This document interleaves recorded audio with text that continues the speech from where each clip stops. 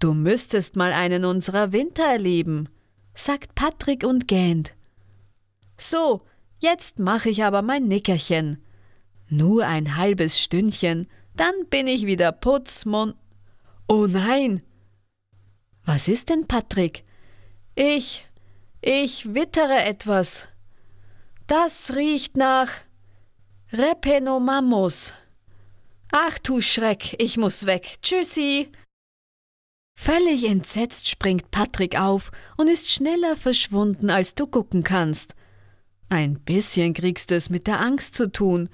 So wie Patrick reagiert hat, klang das wirklich nach Gefahr. Doch dann erinnerst du dich, dass dir auf einer Traumreise niemals etwas passieren kann. Schließlich hat dir ja sogar der riesige Spike nichts getan und mit dir Freundschaft geschlossen. Gespannt holst du noch einmal tief Luft und beschließt, dich etwas genauer umzusehen.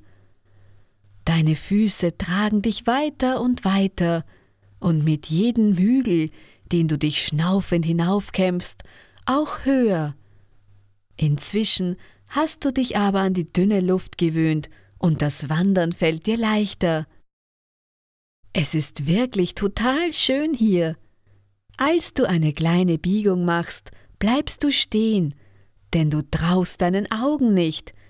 Die Wolken hängen jetzt so tief zwischen den Zweigen der knorrigen Bäume, dass du sie mit deinen Händen berühren kannst. Hast du schon einmal eine Wolke angefasst? Was meinst du, wie sie sich anfühlt? Strecke deine Hand aus und fühl mal, Kalt und nass fühlt sie sich an. Nicht erschrecken! Hörst du plötzlich eine Stimme aus dem nahen Unterholz. Du erschreckst dich trotzdem ein bisschen. Woher kommt diese Stimme?